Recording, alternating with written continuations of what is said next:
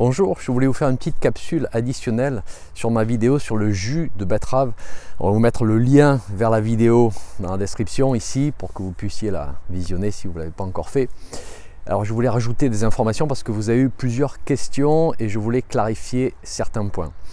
Alors d'abord, j'ai adopté un style un peu différent pour cette vidéo sur le jus de betterave parce que je voulais me concentrer sur le potentiel thérapeutique à partir de ce que j'ai trouvé dans les études et puis essayer de démêler ce qui avait vraiment été testé sur humain du spéculatif.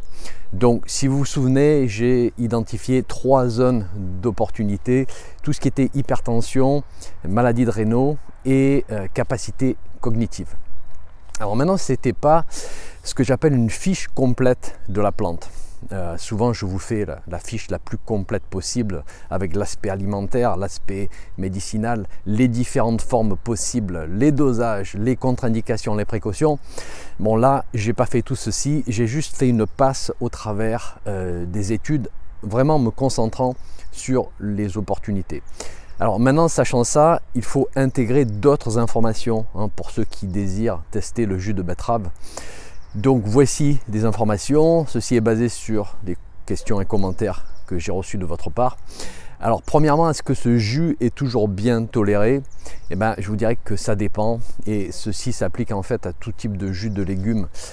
Si vous êtes adepte des jus, que vous avez un extracteur de jus à la maison, vous avez peut-être remarqué que certains réagissent plus que d'autres, que peut-être pour certains, ça va être un peu irritant pour la muqueuse intestinale. Et puis pour d'autres, ça va super bien passer. Moi par exemple, je peux boire plusieurs verres de n'importe quel type de jus, ça passe super bien.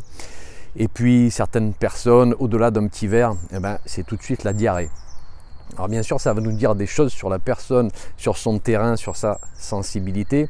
Et tout ceci, il faut le prendre en compte, bien sûr. Donc si vous n'avez jamais testé les jus de légumes frais et encore moins le jus de betterave, eh ben, je vous conseille de démarrer d'une manière progressive et puis d'augmenter les quantités si nécessaire. Et notez que tout ceci s'applique à à peu près tout ce qu'on fait dans le monde de la santé. Lorsqu'on expérimente, on le fait d'une manière toujours prudente. On introduit de nouvelles choses graduellement.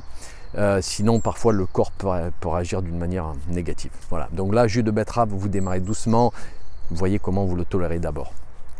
Deuxième point, c'est la teneur en acide oxalique de la betterave et du jus de betterave. Alors le jus voilà, contient après les données dans les 800 à 1000 mg d'acide oxalique pour 100 ml de jus. Donc effectivement c'est riche en acide oxalique et il vaudra mieux l'éviter chez la personne qui fait des calculs de nature oxalate de calcium déjà et chez la personne qui ne fait pas de calcul. Est-ce qu'il y a un risque d'en développer? C'est possible. Mais c'est là où vous commencez à voir que la santé et les outils dont on parle régulièrement, ce n'est pas une histoire de blanc et noir. Voilà, c'est pas une histoire de tout bon, tout mauvais, euh, naturel c'est tout bon, le chimique c'est tout mauvais. Non, c'est pas ça. Tout est une histoire de peser les bénéfices et les risques dans un contexte donné et spécifique.